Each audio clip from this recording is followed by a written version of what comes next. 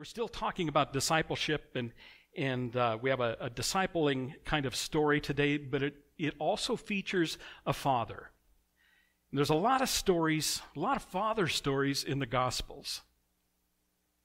Uh, beginning with the story of Joseph, who became a dad in a remarkable way to a rather remarkable child. And Jesus often uses fathers as an example when he's trying to make a point. In, in Luke chapter 11, he said, Which of you fathers, if your son asks for a fish, will give him a snake instead? And as I was thinking this morning, every time that we find a father encountering Jesus in the Gospels, it's on behalf of his child. It's out of his deep concern for his children that he approaches Jesus. And there are a number of these kinds of accounts in, in the scriptures when Jesus is dealing with a father who's in crisis. As their child is suffering, their child is sick or, or lame or dying or possessed or dead.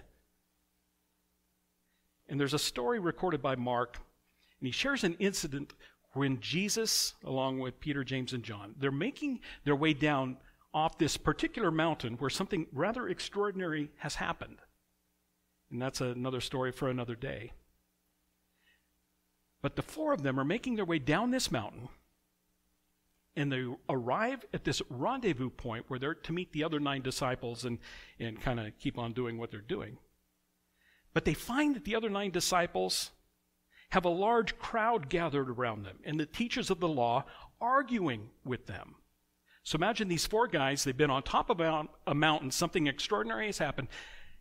They're emotionally exhausted, their adrenaline is still pumping through their bodies. They're down the mountain and they walk into an argument. It's exactly how you want to end the day, isn't it? It's, it's really not. And Mark wrote As soon as all the people saw Jesus, they were overwhelmed with wonder and ran to greet him. So Jesus, who's been up on this mountain, had this, this transfiguring experience, comes down, and here comes the crowd. There's no avoiding it. And he looks at his disciples and he says, What are you arguing with them about? Kind of a, now what's the problem? And what beef does this group of people have to do with, with us now? And here's the issue. Earlier, when Jesus would send his disciples out to do ministry, they'd done well. They'd done really well. There'd been miraculous healings, there'd been the casting out of demons. In Mark chapter 6, just the previous chapter, Mark wrote, They went out and proclaimed that people should repent. And they cast out many demons and anointed with oil many who were sick and healed them. What they were doing while Jesus and the other three were up on the mountain was, was continuing on with ministry, just as they had done, just as they'd been successful at. But today, at a critical moment in their ministry, it's just not clicking. It's not happening. The things that used to come so easily are now up against a brick wall. And the crowd is angry. Uh, this isn't what they'd come out to see. First, they'd, they'd come out to see Jesus. And he's not there, he's on a mountain. And if they can't see Jesus in person, they at least expect to see some miracles, or, or they're here to see some kind of action, something miraculous. And the teachers, of course, well, they're just doing what they always do. They stand at the fringes and watch and observe. But today, the teachers are using this opportunity to point out the failings of the disciples. That's why they were there, to turn the crowd back toward their direction. They want to discredit Jesus and his followers.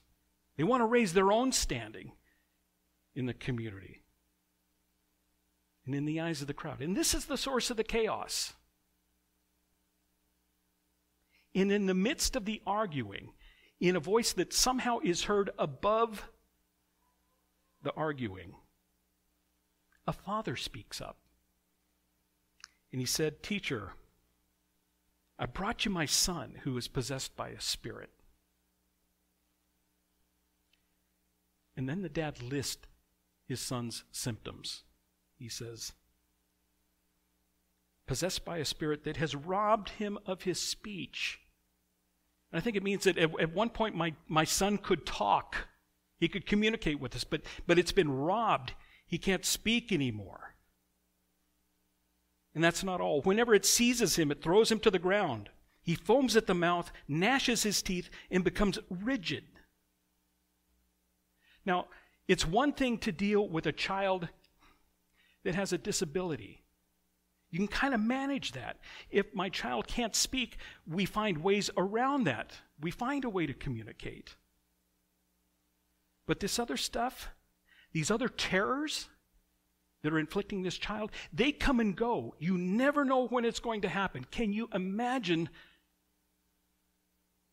your son or your little girl never knowing when they're going to be seized by evil, taken by force. It could come while you're home, it could come while you're out. You never know.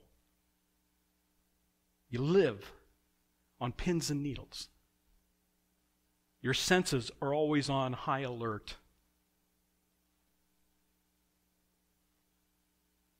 As a parent, when our children have been sick, I learned this early on. When our children are sick, it's a whole different kind of terror, isn't it? When your child is sick, when your grandchild is sick, it's a whole different realm of fear. And I can't imagine what it was like to have a demon seize your baby, your little one and then to never know when the next attack is going to come. This father said, I asked your disciples to drive out the spirit, but they could not. A little bit ago, they could. They'd been seeing success. It had been relatively easy, maybe in their minds. Why couldn't they this time? When Jesus sends them out, he sends them with his authority to do his ministry among the people. But in, in some sense, these nine are still unconvinced that they can do it. It's a reality check. It was going to come sooner or it was going to come later. But it, it was going to happen. Number one, the, the disciples find that what used to be so simple to them is now much more complex. It's much harder than they expected. The second, crowds that used to praise God when Jesus would show up and heal people are now arguing with them. They're questioning them. They're not praising God in this moment as they expected, they're complaining. And third, these teachers of the law that used to just be satisfied standing at the fringes and whispering to one another, well, now they're, they're engaged in challenging them, in pointing out their failings and starting arguments. And what's become clear that in this moment, dealing with this spirit in this child, and with these people in this crowd, that even though the disciples do believe in the ability that, that Jesus gave them to be able to carry on the work, you know, they, they've seen and experienced and done some, some incredible things. Their trust in Jesus is still in its infancy.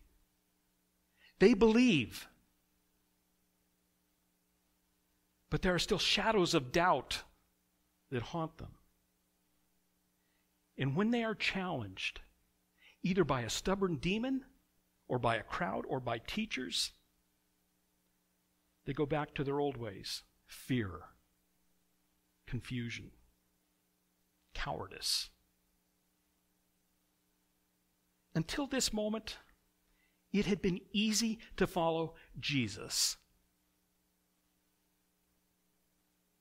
But from now on, it's going to get very, very hard. Not just in this moment, but because this moment leads to the next moment, and eventually it leads to the cross. You know, sometimes people assume that, that the first few years of following Jesus are the hardest. But often they're not. Because the longer that you walk with Christ, the more complex, the more challenging work He is going to put in your lap. The more difficult issues you will face, the more strain on relationships sometimes. Yes, it does get easier in one sense, but as it gets easier, it also becomes more difficult. Because he's raising us up to higher levels of ministry and effectiveness in building his kingdom.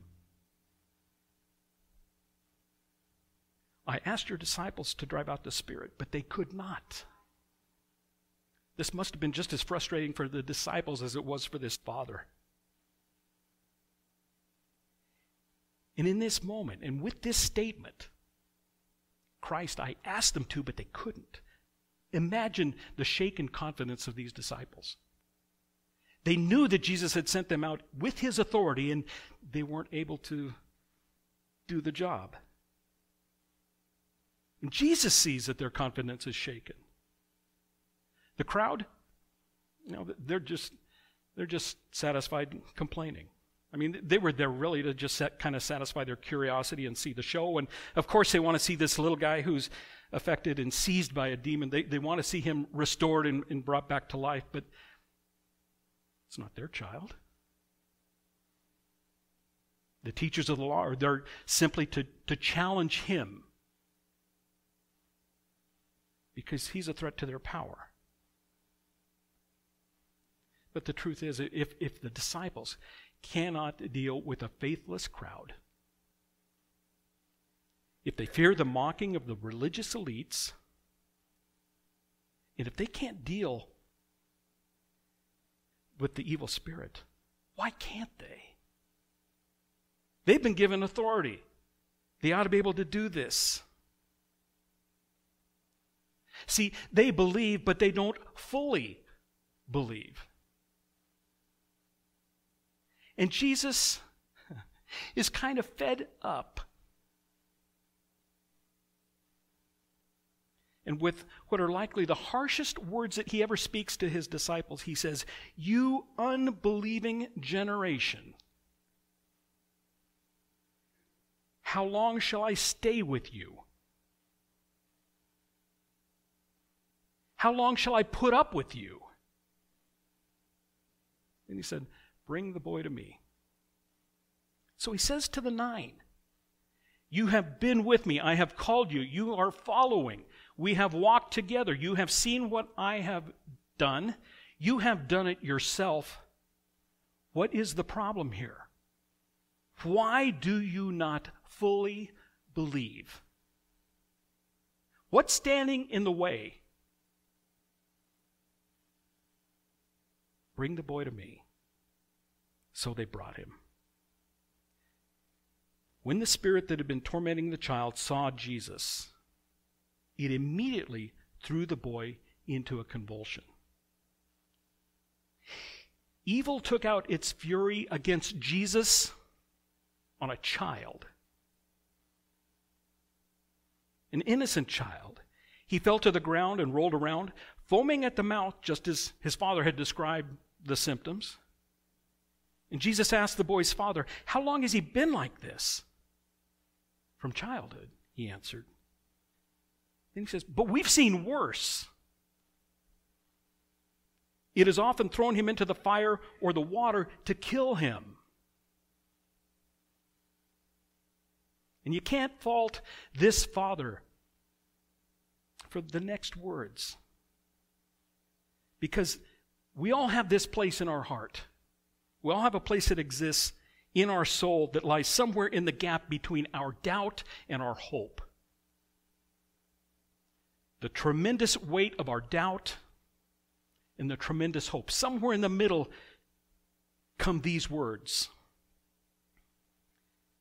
But if you can do anything, take pity on us and help us.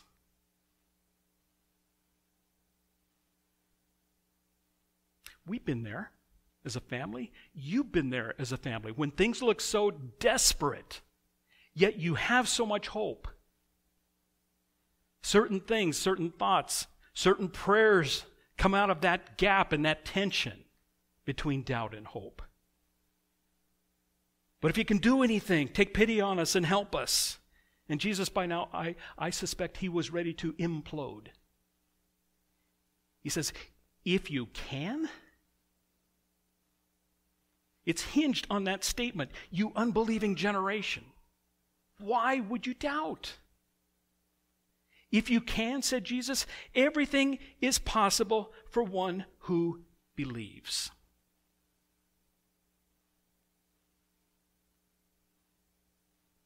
Everything is possible for one who believes. Who's Jesus speaking to? He's speaking to the, the Father, of course. But who else needs to hear this? Every one of the disciples need to hear this. Every person in the crowd needs to hear this.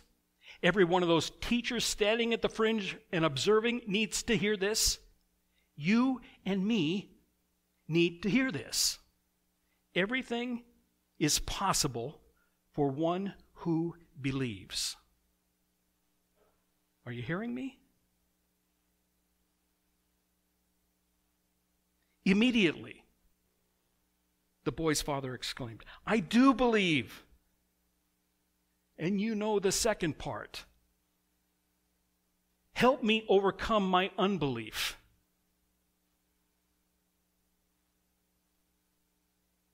How can those things coexist? I enjoy watching the documentaries of men and women who climb Mount Everest. How it, it takes such strength, endurance, patience, determination, courage, just to make it to base camp at 17,000 feet, and then acclimatize, then to slowly start this ascent up the mountain. But I've got this great fascination with these, these indigenous people called Sherpas. Incredible people. They're mountain people who prepare the route for climbers who are going to come later in the season. And part of their job is to prepare the route for the climbers, which includes setting up some pretty suspect devices in places that allow climbers to cross over the deepest crevasses on the ice floes. And what we have are a couple of Home Depot ladders that are strapped together at the center. And I found some pictures where they have five of these extension ladders lashed together over a crevasse. Who said nope? Who has an amen for that nope right there? Yeah. Oh, chicken? Who said chicken? Can you imagine? And and it doesn't matter. No, no, follow me. If you're standing here and you look across and you see dozens of other climbers who have been across that, does that make you all the more anxious to do it yourself?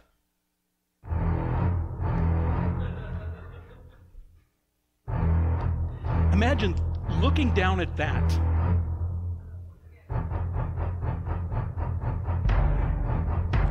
Oh, it gets better. Look at how they tied the knots. Doesn't that look safe? And look, there's a broken rung on this ladder.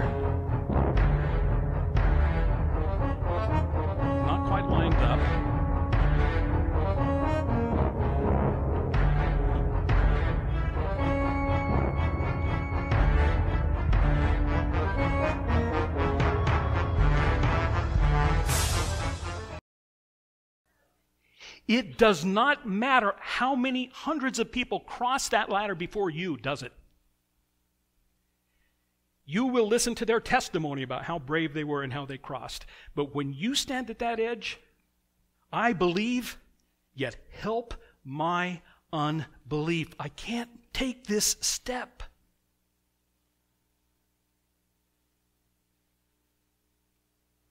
It's an honest statement, isn't it? Don't show me how many people have crossed because this is me now.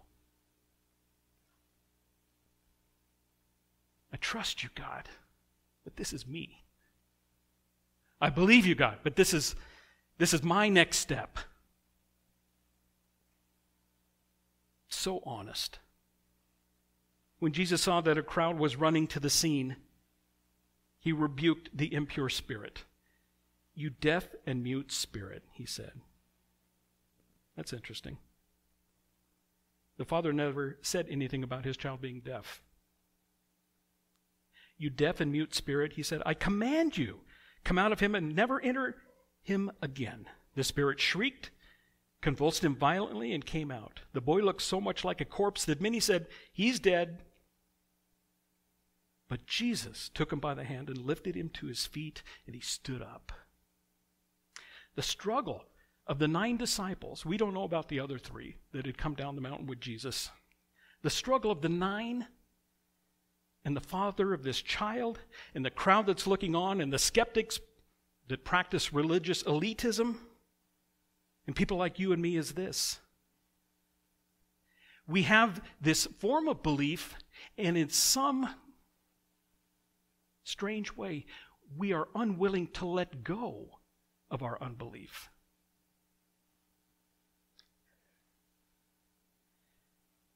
We have a belief, and we also have an unbelief. There's a part of my life, if I'm going to walk with Jesus, that I have to jettison, that I have to willingly let go of. And that's my right to not believe what he says. Think of all of the things, all of those destructive habits that you had when you came to faith. And one by one, God kind of extracted you through the work of the Holy Spirit. These things no longer have a grip on you. Maybe unbelief is one of those things that we need to confess and deal with.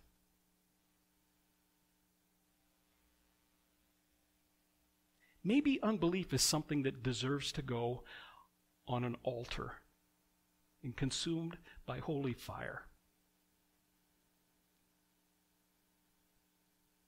And we come away with something more than just a form of belief, but the authentic, 100%, all consuming belief that God is who He says He is, will do what He says He will do. You remember the old song that we used to sing? It was old when I learned it as a child. That's how old it is. God can do anything, anything, anything. God can do anything but fail. This has never been about God's power being suspect, but about my belief being weak. I've got to give up my right to question God's ability and his authority over all things. You unbelieving generation. I do not want to live a life as part of an unbelieving generation. Do you? It gets us nowhere. Because then, as we are challenged, as we come into conflict with society, we are the ones who become fearful. And sometimes we become cowards.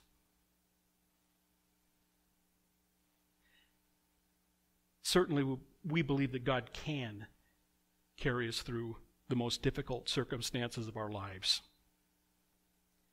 We have to graduate to the point where we believe God will, not just can't, but will carry us through every difficult circumstance of life. Let's pray. I believe. Help me overcome my unbelief.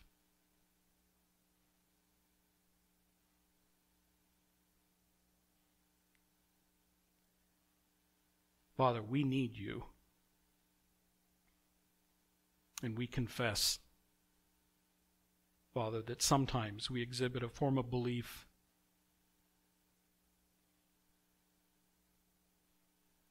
that's fake, it's phony, it's thin, it can be moved, it can be shifted, it can be ignored. Father, we confess that we need a stronger sense of your presence, stronger sense of your peace.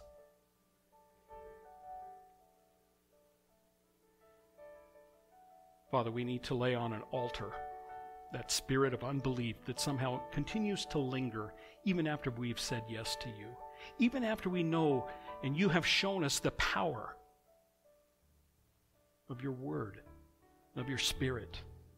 After you have proven to us in our own lives that sin does not have to keep us in chains, but you have freed us from those things.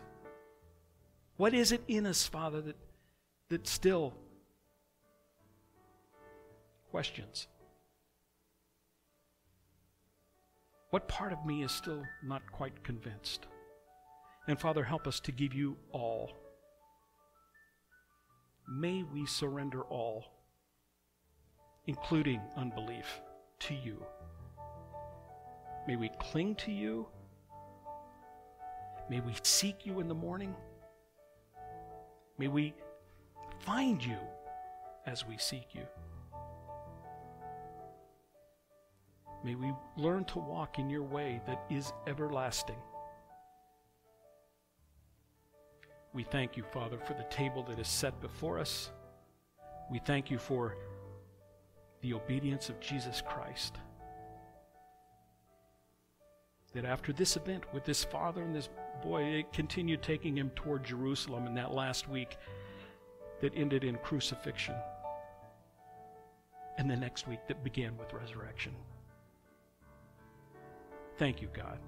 Thank you for your goodness to us. Thank you for the blessing to be your sons and daughters. Thank you that you are a good Father. We pray for our own fathers today, that you would be near to them. Father, we thank you for the gift of memories that you have blessed us with as we think back about our lives and our fathers and how they impacted us and the funny things that they did the struggles that they had, and how you saw them through. Thank you for the privilege of being family. Thank you for your goodness. We pray this in your name. Amen.